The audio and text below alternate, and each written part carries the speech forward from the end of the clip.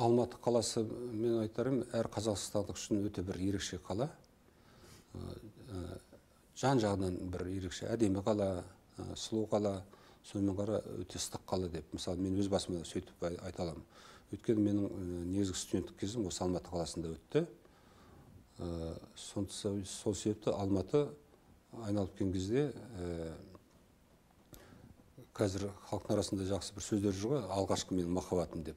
Сондай бір кезеңнің кезі өйткені көп қазақстандықтар ең жақсы кезеңнің студенттік кезеңін осы алматыда өткізді. Ол кейін ғой басқа қалаларда астанада басқа нұр сұлтанда жаңа университеттер пайда болып ал кезінде біз оқып жүрген кезде қазір де жастардың қаласы қазір де студенттердің қаласы. Ол кезде бірден бір бірінші қала болатын. Сосын қазір де бірінші қала болып тұр. Сондықтан алматы шынында да көркем табиғаты да өзінің мына қаланың арасындағы ортада одан мына архитектурасы да еш қалаға ұқсамайтын ерекше қала. Сондықтан мен алматыны ерекше жақсы көремін. Алматыда өзім білім алып жетілдім.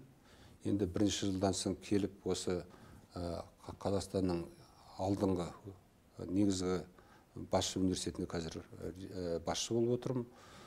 Шынында да сол кезде мен қазіргі кезеңді салыстыратын болсақ қанша уақыт өтіп кетсе де сол кездегі көңіл сол кездегі сезім сол кездегі айтар махаббат сол қалпында алматыға сақталады. Өйткені алматы біздің жүрегімізде.